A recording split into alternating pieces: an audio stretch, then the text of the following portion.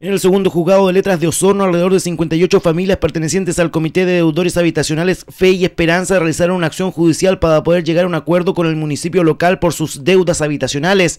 Según explicó Alejandra Soto, presidenta del Comité Fe y Esperanza, las familias mantienen deudas con el municipio por sus casas, ya que según indicó no se pagaron dividendos por poca información que tuvieron en su tiempo y a través de esta acción judicial contra el municipio esperan poder repactar sus deudas. Mira, te explico, nosotros somos gente que tiene deuda a sus casas, la gente no pagó dividendos por poca información que se le dio en su tiempo y hoy día estamos aquí colocando una demanda ante el municipio para que nuestras deudas sean repactadas.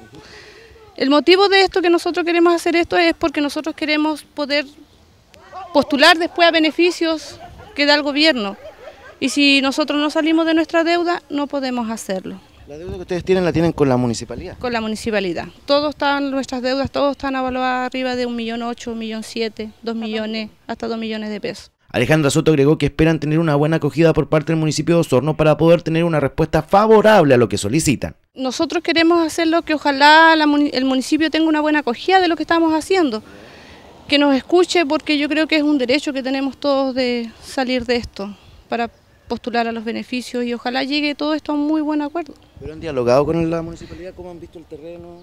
¿Positivo, negativo? Mira, hasta el momento nosotros hemos tenido conversaciones, nosotros hemos tenido conversaciones con el municipio y todo da que a esto todo tiene, tiene buen pie, va por buen camino. Ojalá sea todo positivo. Por su parte, Marcelina Reyes, tesorera del comité, indicó que esperan que esto se solucione y poder salir de sus deudas para poder postular a diversos beneficios que tiene el Estado y a los cuales no han podido postular.